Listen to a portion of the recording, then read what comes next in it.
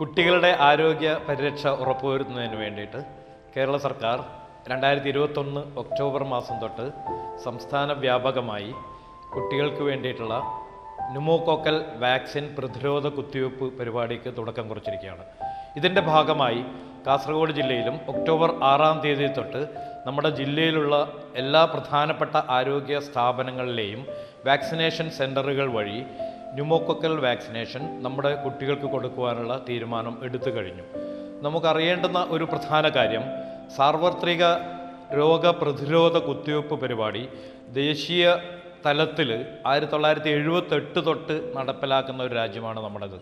എഴുപത്തെട്ടിൽ തുടങ്ങിയ expanded programme on ഇമ്മ്യൂണൈസേഷനും അതിനുശേഷം എൺപത്തഞ്ചിൽ തുടങ്ങിയ യു എന്ന പ്രോഗ്രാമും വഴി വ്യത്യസ്തങ്ങളായ കുറേയേറെ ആരോഗ്യ പ്രശ്നങ്ങളെ പ്രതിരോധിക്കുക എന്ന ഉദ്ദേശത്തോടു കൂടി കുട്ടികളുണ്ടാവുന്ന പ്രധാനപ്പെട്ട ചില രോഗങ്ങളെ അവരുടെ അതുവഴി ഉണ്ടാകുന്ന മരണനിരക്കും കുറക്കുക എന്ന ഉദ്ദേശത്തോടു കൂടി നമ്മുടെ രാജ്യത്തെ എല്ലാ കുട്ടികൾക്കും ഇത്തരത്തിലുള്ള പ്രതിരോധ കുത്തിവയ്പ്പുകൾ കൊടുത്തു വരികയായിരുന്നു. അതിനുശേഷം വ്യത്യസ്തങ്ങളായ കർമ്മ പരിപാടികൾ ഊന്നിക്കൊണ്ട് ഏതാണ്ട് പതിനൊന്നോളം രോഗങ്ങൾക്ക് തടയാൻ വേണ്ടിയിട്ടുള്ള വളരെ കാര്യക്ഷമമായ ക്രിയാത്മകമായ ഇടപെടൽ സംസ്ഥാന സർക്കാരിന്റെയും കേന്ദ്ര സർക്കാരിന്റെയും ആരോഗ്യ വകുപ്പിന്റെയും നേതൃത്വത്തിൽ നടത്തിക്കൊണ്ടേയിരിക്കുന്നു. ഇതിനു മുമ്പ് നടത്തപ്പെട്ട കൊടുത്ത ഒട്ടേറെ വാക്സിനുകളിൽ നിന്നും വ്യത്യസ്തമായ രീതിയിൽ തന്നെ പുതിയ ഒരു വാക്സിൻ കൂടി നമ്മുടെ സംസ്ഥാനത്തും നമ്മുടെ ജില്ലയിലും ഈ മാസം തൊട്ട് നമ്മുടെ കുട്ടികളിൽ കൊടുക്കുന്നു എന്നുള്ളതാണ് ന്യൂമോക്കോക്കൽ വാക്സിനേഷൻ ഉയർത്തുന്ന പ്രധാനപ്പെട്ട ഒരു സവിശേഷത. നമുക്കറിയാം ഇത്തരത്തിലുള്ള ഒരു പുതിയ വാക്സിൻ വരുമ്പോൾ സ്വാഭാവികമായും നമ്മുടെ പൊതുജനങ്ങളിൽ നമ്മുടെ രക്ഷിതാക്കളിൽ ഉണ്ടാവുന്ന ഒട്ടേറെ ആശങ്കകൾ ഉണ്ട്. എന്താണ് ഇത്തരം വാക്സിനേഷൻ കൊടുക്കുന്നത് കൊണ്ട് ഉദ്ദേശിക്കപ്പെടുന്നത്? അപ്പോൾ അതിനെക്കുറിച്ചുള്ള ഒരു അവബോധം നമ്മുടെ ആൾക്കാരിൽ എത്തിക്കാൻ വേണ്ടി നമ്മുടെ ആരോഗ്യ പ്രവർത്തകർ അതിനു വേണ്ടിയിട്ടുള്ള ക്രിയാത്മകമായ വളരെ യാഥാർത്ഥ്യബോധത്തോടുള്ള ശാസ്ത്രീയ അടിത്തറ പാകുന്ന ഒട്ടേറെ വിവരങ്ങൾ സാമാന്യ ജനങ്ങൾക്ക് സാധാരണ ജനങ്ങൾക്ക് കൊടുത്തുകൊണ്ടേയിരിക്കുന്നുണ്ട്. നമുക്കറിയേണ്ടുന്ന ഒരു പ്രധാന കാര്യം എന്താണ് ഈ സ്ട്രെപ്റ്റോകോക്കൽ ന്യൂമോണിയ എന്ന ബാക്ടീരിയ ഉണ്ടാക്കുന്ന ന്യൂമോണിയ എന്ന് പറയപ്പെടുന്ന ഒരാരോഗ്യ പ്രശ്നം ഉണ്ടാക്കുന്ന പ്രശ്നങ്ങൾ. നമ്മുടെ നാട്ടിലെ അഞ്ച് വയസ്സിന് താഴെയുള്ള കുട്ടികളിലെ കണക്കുകൾ പരിശോധിച്ചാൽ മരണനിരക്കിന് കാരണമാകുന്ന ഒരു പ്രധാനപ്പെട്ട ആരോഗ്യ പ്രശ്നമാണ് ന്യൂമോണിയ. ഈ ന്യൂമോണിയ ഉണ്ടാക്കുന്നതിൽ സ്ട്രെപ്റ്റോകോക്കൽ ന്യൂമോണിയ എന്ന് പറയപ്പെടുന്ന ഒരു ബാക്ടീരിയയ്ക്ക് വലിയ പങ്കാണ് വഹിക്കുന്നത് പഠനങ്ങൾ നമ്മുടെ ഇന്ത്യയിൽ നടത്തിയ ഒട്ടേറെ പഠനങ്ങളിലൂടെ ഒരു വർഷം ശരാശരി അറുപത്തെട്ടായിരത്തിലധികം കുട്ടികൾ സ്ട്രെപ്റ്റോകോക്കൽ ന്യൂമോണിയ ബാധിച്ച് മരിക്കുന്നു എന്നുള്ളതാണ് സ്ഥിതി വിവര കണക്കുകൾ.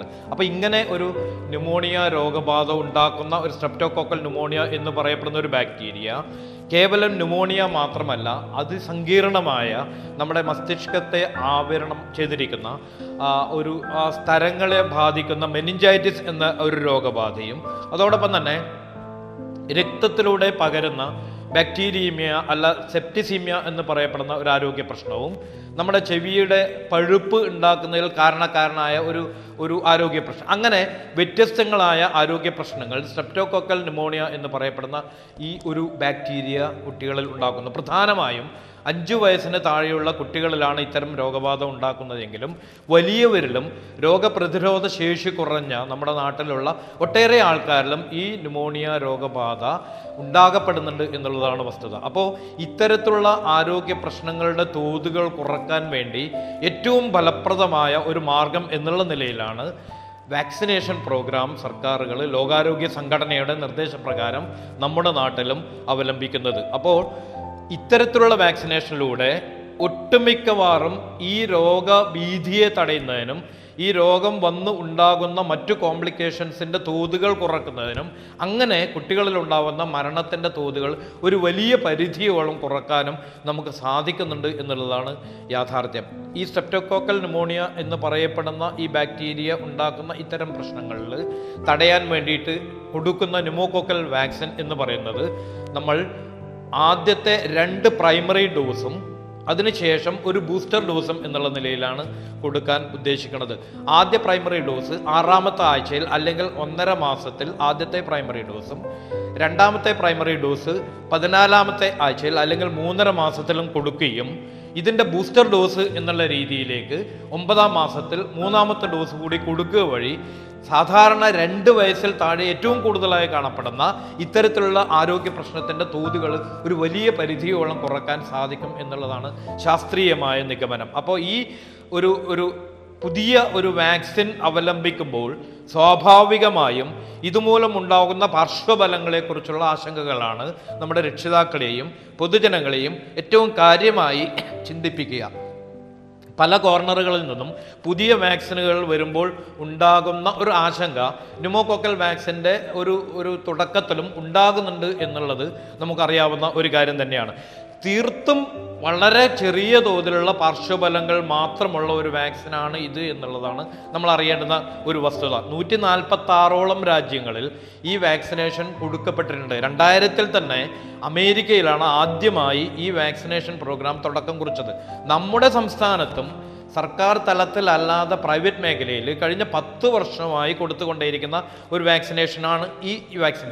അതേപോലെ തന്നെ നമ്മുടെ ഇന്ത്യയിലെ തന്നെ ബീഹാർ ഉത്തർപ്രദേശ് മധ്യപ്രദേശ് ഉത്തരാഖണ്ഡ് തുടങ്ങിയ വടക്കൻ മേഖലയിലുള്ള അഞ്ചോളം സംസ്ഥാനങ്ങളിൽ ഈ വാക്സിനേഷൻ പ്രോഗ്രാം രണ്ടായിരത്തി പതിനേഴ് തൊട്ട് തന്നെ തുടക്കം കുറിച്ചിരിക്കുന്നു. അപ്പോൾ ഇവിടെ വെച്ചെല്ലാം കൊടുത്തിരിക്കുന്ന വാക്സിൻ ഒരു തരത്തിലുള്ള പാർശ്വഫലങ്ങളും ഇല്ലാത്ത ഈ വാക്സിനേഷൻ തികച്ചും സേഫ് ആയിട്ടുള്ള ഒരു വാക്സിൻ എന്നുള്ള നിലയിലും ഇതിന്റെ മറ്റു കോംപ്ലിക്കേഷൻസുകൾ വളരെ കുറവാണ് എന്നുള്ള നിലയിലും അതോടൊപ്പം തന്നെ ഈ രോഗത്തെ തടയാൻ ഈ വാക്സിനേഷൻ കൊണ്ടുണ്ടാവുന്ന വലിയ ഒരു ഗുണപരമായ ഒരു വശവും കൂടി മനസ്സിലാക്കിക്കൊണ്ട് തന്നെ നമ്മുടെ ആരോഗ്യ പ്രവർത്തകർ ഈ വാക്സിനേഷന് വേണ്ടിയുള്ള ദൗത്യം പൊതുജന സമക്ഷം പറയുമ്പോൾ തീർച്ചയായും ഇതുമായി സഹകരിക്കുകയും ഈ വാക്സിനേഷന്റെ ഭാഗമായി നമ്മുടെ കുട്ടികളിൽ നാളെ ഉണ്ടാകാൻ സാധ്യതയുള്ള ഇത്തരത്തിലുള്ള ആരോഗ്യ പ്രശ്നങ്ങളുടെ തോതുകൾ കുറയ്ക്കാൻ ഉതകുന്ന സർക്കാരിന്റെ പ്രോഗ്രാമായി മാറ്റുകയും ഇതിനെ പൂർണ സഹകരണത്തോടു കൂടി ഇതിന്റെ വിജയത്തിന് വേണ്ടി സഹകരിക്കുകയും ചെയ്യണം എന്നാണ് എനിക്ക് അഭ്യർത്ഥിക്കാനുള്ളത്.